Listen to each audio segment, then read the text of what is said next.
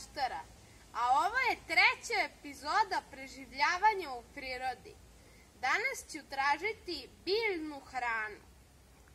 U ovoj epizodi preživljavanja pod tom biljnom hranom mislio sam da nađem kukuruz i kupine.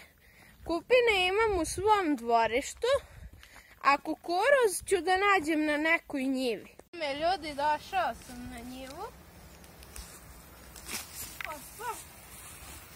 but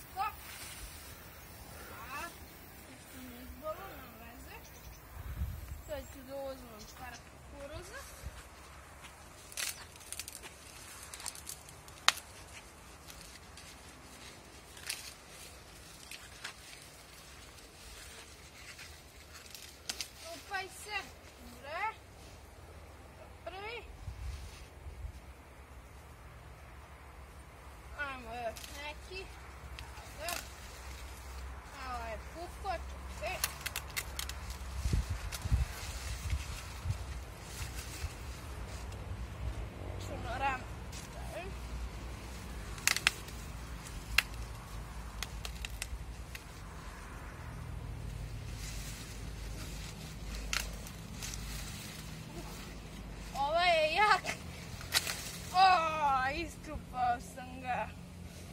Ljudi, uzeo sam tri kukuruza. To mi je ulov za danas. Kasnije ću uzeti još kupine iz mog dvorišta. Tako da vidimo se tamo.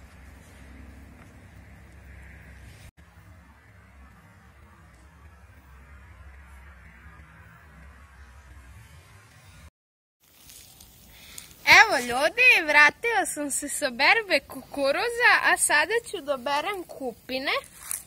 Evo su ovde. Ima na još par mesta.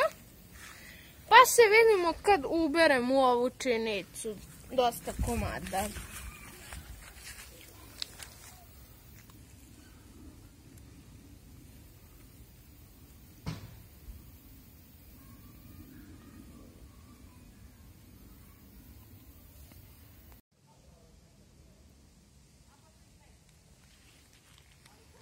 Kao što vidite, nabrao sam dosta kupina.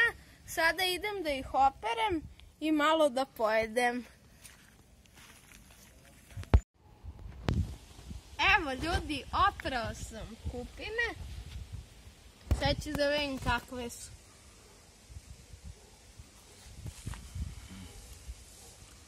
Malo su kisele, ali su dobre. Mm.